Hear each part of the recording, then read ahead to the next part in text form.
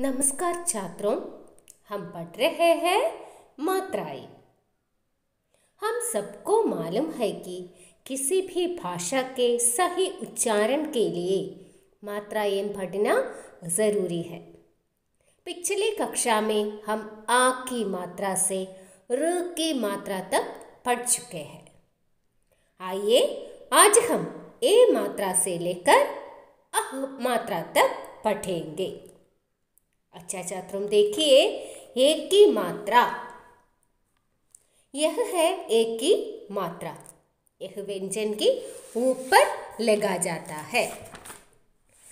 ए से बना शब्द है सेब, शेर।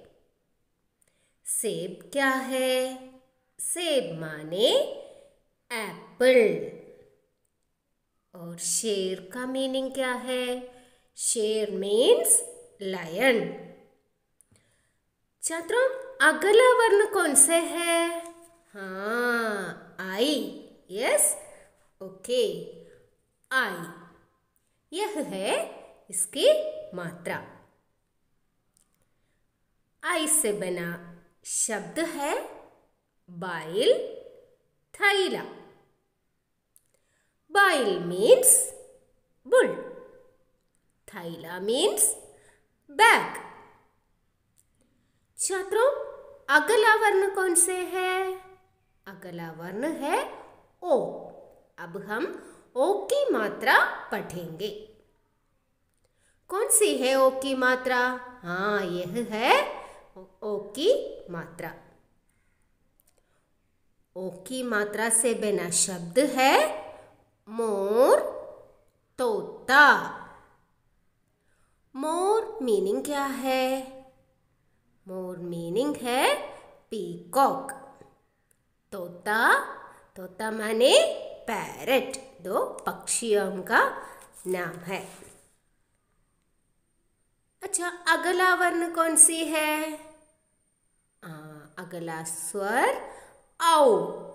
औ की मात्रा यह है। छात्रों आपको मालूम है औ की मात्रा से बना शब्द है नौका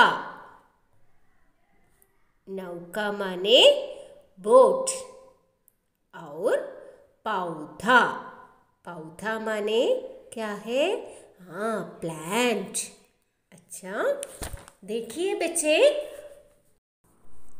अगला वर्ण है अम। अम की मात्रा व्यंजन की ऊपर एक बिंदु जैसे लगा जाता है। आपको मालूम है इस बिंदु को क्या कहते हैं? इस बिंदु को अनुस्वार भी कहा जाता है। अच्छा देखिए बच्चे, अम मात्रा से बना शब्द कौन कौन से है? वन इज़ चंदा। Do you know the meaning चंदा? रात में हमें प्रकाश देते हैं, क्या है यह? चंदा माने। मून छात्रों, दूसरा शब्द कौन से है? पंखा। क्या है इस पंखा? गर्मी में हमें हवा देते हैं। हमारे घर में है, क्या है? पंखा मीन्स फ़ैन अगला वर्ण है, अह। यह है इसका मात्रा। इस मात्रा का उच्चारण है ह। इसे बना शब्द है पुनः प्रातः। पुनः माने अगेन प्रातः माने इन द मॉर्निंग अच्छा छात्रों, अब सभी लोग यह अच्छे से लिखकर पढ़ना चाहिए। All the best. Thank you all.